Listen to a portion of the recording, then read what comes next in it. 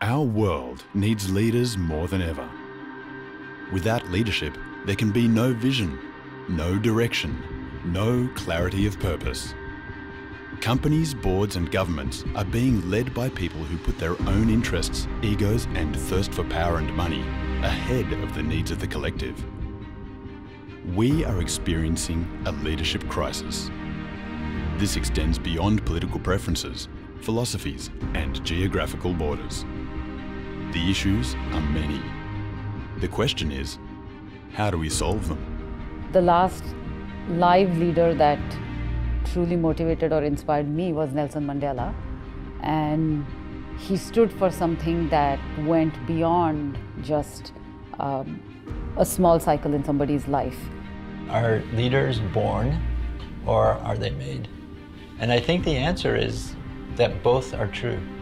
Leadership is in human nature, and the skills to inspire and influence others can be learned. The more I do this work, the more I realize how little people know about how to develop their own leadership. I am on this journey to explore what it takes to be a leader and what we need to learn to become the leaders of the 21st century. When you have a leader that is not self aware, you have a recipe for disaster. People leave their leader, they don't leave their company.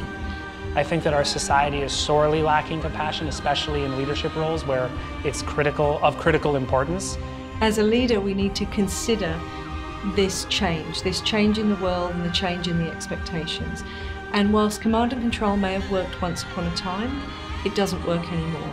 The challenge of uh, leadership in any sphere, I think, is a combination of getting things done and having a, a real sense of purpose. How much you have developed of your mind and your brain, refined, you could say, the mind and brain, is the fundamental ingredient in higher performance.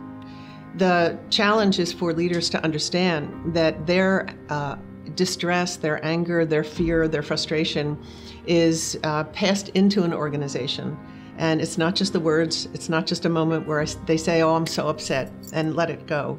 That people are connected to these big growth aspirations and they feel the pressure that the boss brings into an environment.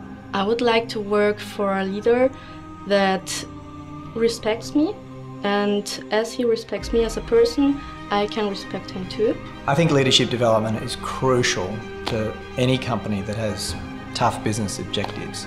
The risk of an organization if uh, they don't uh, develop talent and leadership, which is a part of the talent, is dying. Just dying. Leadership matters. Embracing our own leadership is where we need to start.